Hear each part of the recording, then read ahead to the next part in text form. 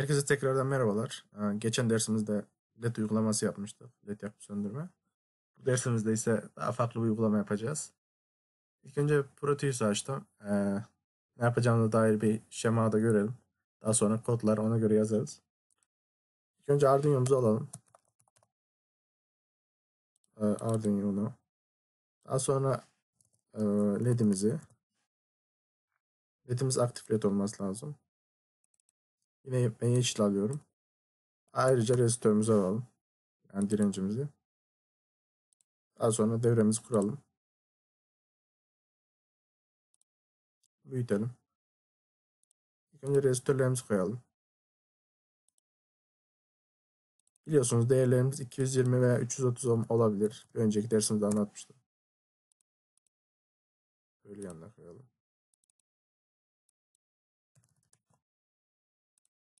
4 tane led kullanacağım. O yüzden 4 tane e, direnç alıyorum. Bu da 220. Biliyorsunuz rezistörlerimiz dirençleri kullanmamızın sebebi e, Arduino üzerinden gelen akımı kısıtlamak. Üste taşıyalım. Tamamdır. Şimdi ise e, ledlerimizi alalım.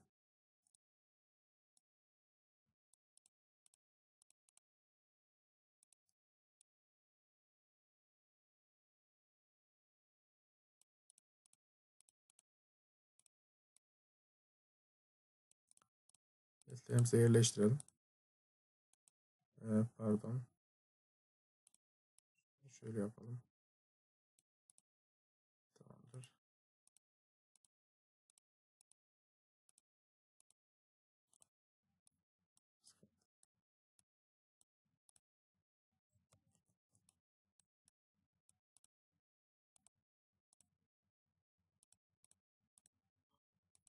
Evet. Ee, ilk ledimiz 13. pine, ikinci ledimiz 12.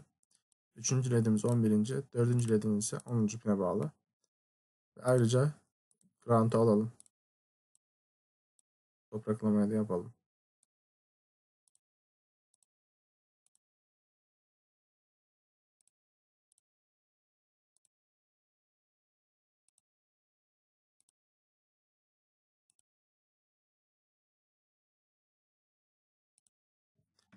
Evet. Ee, şemamız bitmiştir. Yapmak istediğimiz sırasıyla ledlerimizin yanması ve geri dönüşte ise devam etmesi. 13'ün yanması, 12'nin yanması, 11'in yanması, 10'un yanması ve tekrardan 11'e atlaması, 12, 13. Bu şekilde devam etmesi. Ee, kodlarımıza geçelim. Arduino ID'mizi açtık. Ee, bir tane array oluşturuyorum. Net array. Bu array'imiz içinde e, pinlerimiz olacak. 13. 12. 11. ve 10. pinimiz. Biliyorsun array oluştururken köşeli parantezler koyuyoruz. Elemanlarımızı süslü parantezle içine yazıyoruz. Daha sonra ise e, biliyorsun pin mod ataması yapıyorduk. Pin mod ile giriş mi çıkış mı olduğunu. Burada ise daha kolay olması için for döngüsü kullanıyorum. For döngüsüyle e, birkaç satırda yapacağız. For döngüsünde ilk önce bir değişken atıyorum. Integer i e, eşittir. E, sıfır olsun. Sıfırıncı array'imizdeki sıfırıncı elemanı yakacağımız için. Noktalı virgül. E, i küçük eşit 4 oluncaya kadar sıfırıncı, birinci, ikinci ve üçüncü array'imizdeki alanları yakacağız. Daha sonra i'miz ise birebir arttıralım. Ve pin mod e, fonksiyonumuz ile led array'imizdeki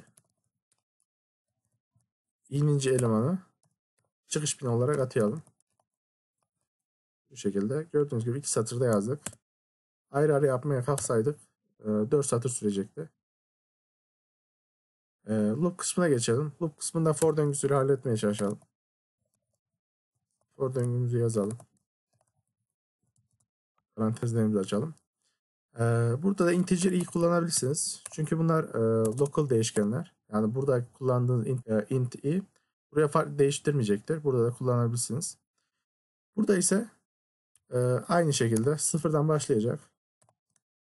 İ küçük oluncaya kadar 4'e ve i'miz de birer bir artacaktır. Burada ise dijital e, write fonksiyonumuz ile led array'imiz de 2 e, inince elemana 5 volt veriyoruz. Yani high yapıyoruz. Daha sonra delay yaparak gecikme veriyoruz. 500 milisaniye idealdir. Daha sonra ise dijital write komutuyla ledimizi daha sonra söndürüyoruz. Led array inince eleman low oluyor. Ee, isterseniz bunu deneyelim. Sonucunu görelim. Silelim. Ee, derliyorum ve kaydediyorum. Arduino Prometheus dersleri. Ee, adına ise for loop yapıyorum. For loop'u da öğrenmiş oluruz. Tekrar etmiş oluruz. Ve kaydediyorum.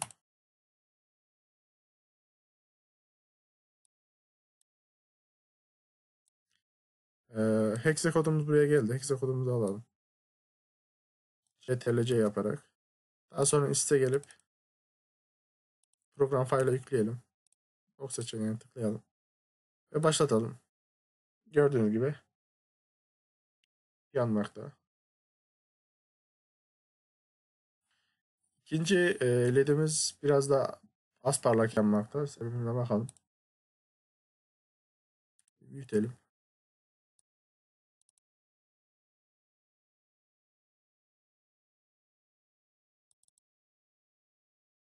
220 ohm. E şurada bir slash olduğu için tamamlamamış. Okey diyelim. Ee, küçültelim. Tekrardan çalıştıralım. Evet. Hepsi aynı parlaklıkta yanmakta şu an. Sırasıyla yanmakta burada. Şimdi ise geri dönmesini yapalım. Bunu aşağı indirebiliriz. Ee, şu an ne oluyor yaşa bunu anlatayım ben size.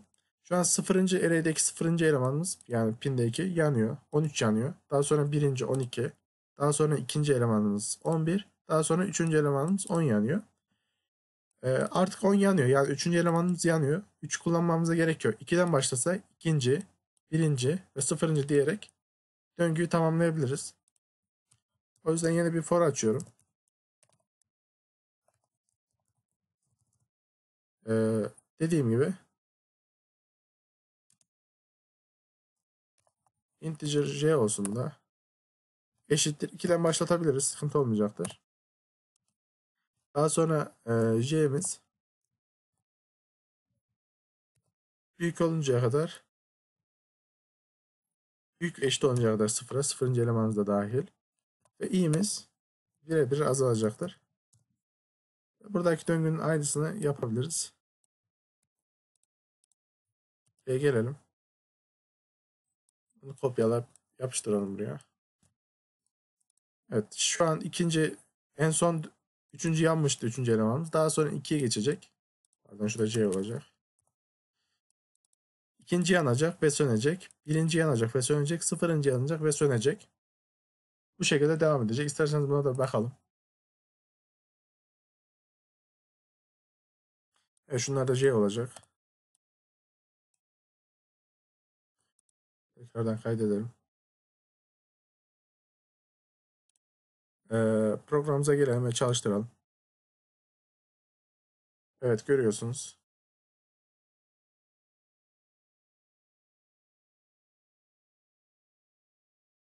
Evet.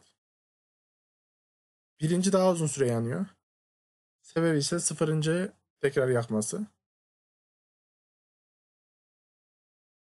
Ee, bunu ise şöyle düzeltebiliriz.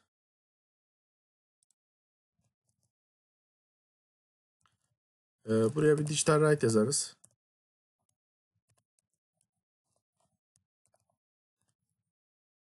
Ee, let array pardon let array e, sıfırıncı eleman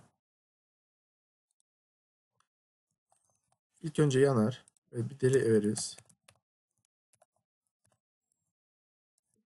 500 milisaniye. Daha sonra ise buradan ise birden başlatırız. Ve döngü e, düzelmiş olur diye düşünüyorum. Bakalım isterseniz.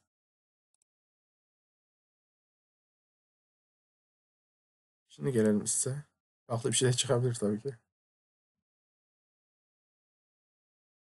Evet şunu kapatmadık. O yüzden sıkıntı oldu.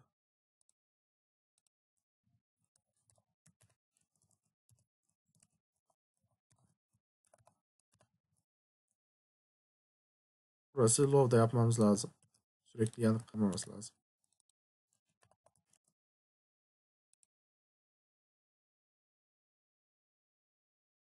Tekrardan geldik size. Tekrardan çalıştırdık. Gördüğünüz gibi şu an düzeldi. Sırasıyla yanım sönmekte ve geriye de gitmekte. Ee, LED uygulamamız bu kadardı. İnşallah öğretici olmuştur. Kor döngüsünün daha iyi anlaşılmasını umuyorum. Yani anlaşılmıştır umarım. Ee, dinlediğiniz için teşekkür ediyorum. Beğenmeyi ve abone olmayı unutmayın. Herkese iyi günler diliyorum.